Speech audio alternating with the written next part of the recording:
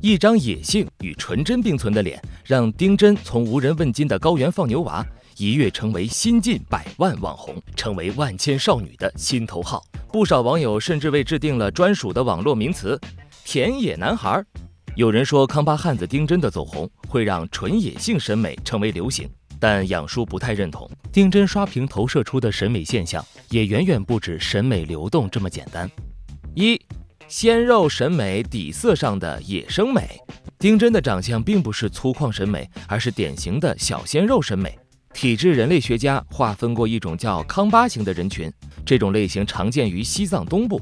康巴型人长相有非常强烈的波西尼亚特征，像是欧亚混血的外表，体现在面部就是长脸、高鼻梁。鼻骨细，眉弓立体，脸骨偏正方体。阿兰和拉姆都是比较有代表性的康巴型人长相，眉目立体，脸型偏长。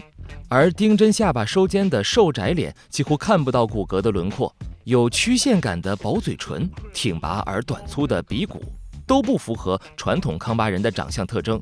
而卧蚕、M 唇、大双眼皮，恰恰又是现代审美的偏向加分。忽略穿搭和肤色，可以看到丁真的长相底色是当代爱豆鲜肉审美，符合当下主流男色审美的五官轮廓，才能快速得到大众共鸣。在鲜肉底色之上，才是肤色和环境带来的野生感。二，丁真走红背后的审美思考。与随着大众审美开放而形成的审美多元化相反，选秀审美逐渐变得狭窄和单一。现在的选秀更像是有标准答案的考试，选手的造型和人设都努力向同一套标准靠近。丁真能以这样横空出世的方式火了，恰恰也说明了人们对当下商品化造型的审美疲劳。和力求精致立体的匠气爱豆脸不同，丁真天生长成的五官。自然真实，不遮不掩，纯粹野性，直接冲击着当下的精致化审美。毫无疑问，确实给看腻了浓妆滤镜、爱豆颜的我们带来了强烈的视觉冲击。晒得黑红、带着斑点的皮肤，也比饭圈那些硅胶娃娃一般的修图更有真人味儿。另外，丁真和藏区也投射着大众对回归自然、简单生活的渴望。三。美貌不止资本消费一条出路。丁真走红后，迅速成为了选秀节目和网红经纪公司争相抢夺的资源。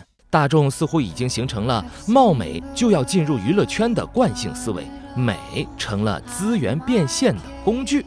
大众的审美确实在拓宽，但不是所有美人都要拉出来进娱乐圈荡一下才算有价值。与其看着丁真在娱乐圈成为一颗新墙头，不如少一点资本娱乐，多一些真切的帮助。教育无法普及的孩子出来也是资本摆布的工具，很容易迷失自我。让他学会看，再做选择更公平。最后，希望他能带领他的马跑第一。至于出不出道，都是他自己的选择了。